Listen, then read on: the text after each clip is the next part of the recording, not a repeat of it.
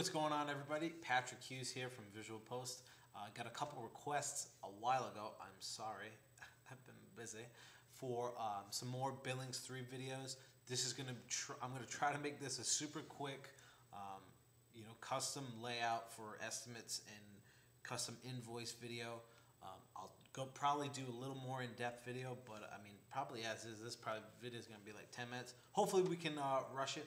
So open up billings and let's get started. So here we go. We're going to go up to the top. We're creating a new estimate, a, a new estimate template with you know our own custom branding. So we're going to be doing a new one for uh, 2010 for Visual Post.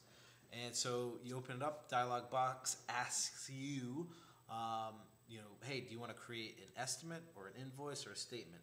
Well, we want to create a template for an estimate for today.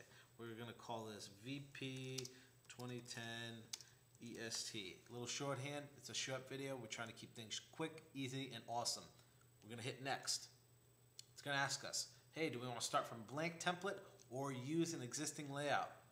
For the love of God, use an existing layout. This is a very difficult system. This whole thing here is very difficult to understand. Just find something that is kind of in the area of what you like, and then um, you know we'll go ahead and I kind of like watermark and, and use it. Trust me, blank layout. I mean, you, you need like an entire day to figure that out. We want U.S. letter unless you live in some other fun country.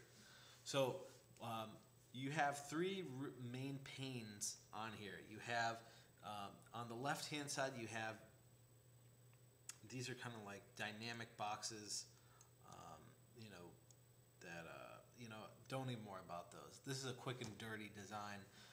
You really want to concentrate on your canvas area here and your, your, you know, your parameters or your, you know, info pane right here on the right. Uh, please note that there are dynamic, you know, there is dynamic text on this page, like so your invoice title and estimate stuff like that. Um, the type of creation, uh, the type of design we're going to do with this is I'm going to add my letterhead to the background. So let's go grab the letterhead.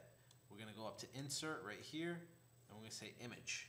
And it made a nice little pretty box. Don't worry about the size. We're going to make sure we highlight our box. We're going to go over to the right size under attributes and we're to click source. Now, I don't know why it just doesn't say image, but whatever. So you're going to click static because it's going to be a static image and uh, I'm already in my, my, my letterheads right here. Now, uh, my letterhead isn't really meant for um, a portrait-sized canvas, but that's okay for today's purposes. I'm just going to stretch it. I really don't care that I don't have my bottom, you know, I don't have my bottom text down here.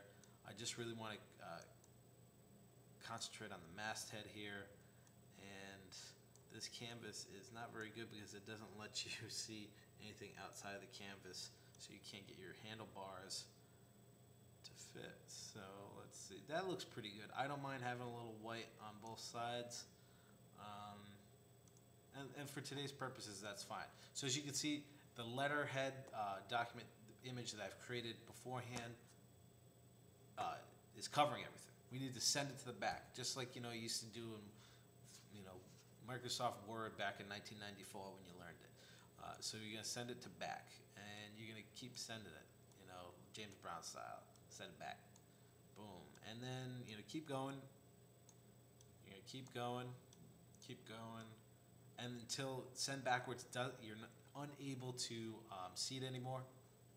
As you can see, um, we're covering up a whole bunch of our dynamic text and what we're going to do is I'm going to delete that little box over there because I believe that's where uh, Billings inserts our logo. We already have our logo now. And what I'm going to do is I'm going to click this box. We're going to shrink. And unfortunately, I would go ahead and select each of these all at once, but unfortunately it doesn't let us do that, so I have to pull them down individually. And like I said, this is a quick and dirty, uh, quick and dirty, you know, template overhaul for um, an estimate in Billings 3. And we're going to move these boxes kind of right here. I'm sure there's some snapping tools that I just don't know about. And we're going to move this down just a little bit more. Oh. And if you don't already know, these boxes can be a little finicky. There's a, you know, there's a little finessing that needs to go on here. Um, and that looks pretty good. You know what I might do is, there's no real way of opening, wait. And five. And, okay, that looks good, so what we're gonna do is we're gonna go File, Save As.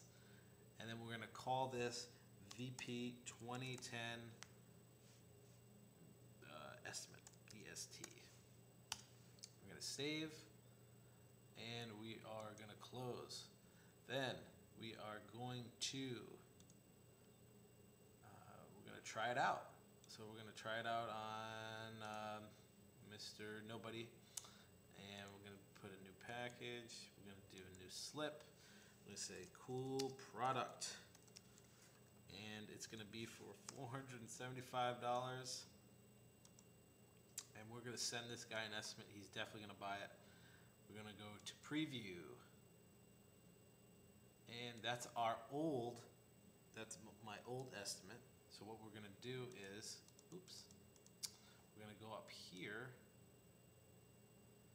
And you can see VP twenty ten estimate, we're gonna click on it. Bang, it's got our, it's got our stuff. As you can see, the, uh, the bottom here, something really quick we can fix. We can go in and crop out that bottom, but you get a pretty good looking estimate really fast. Obviously, uh, it's for nobody, so it doesn't have information here. You can actually bring this information down a little bit more. Um, this is a really nice estimate for um, the type of thing, you know, for the, you know, a, a longer line item, uh, so you can fit more text in. Check it out, hit create, go make some money. Let me know what you guys think. I'll try to do uh, a longer version of this tutorial. Unfortunately, it's probably gonna take like a good half hour. And you know, you know what they say, time is money, and I gotta get paid. So, see you guys later. Take it easy. Let me know what you think.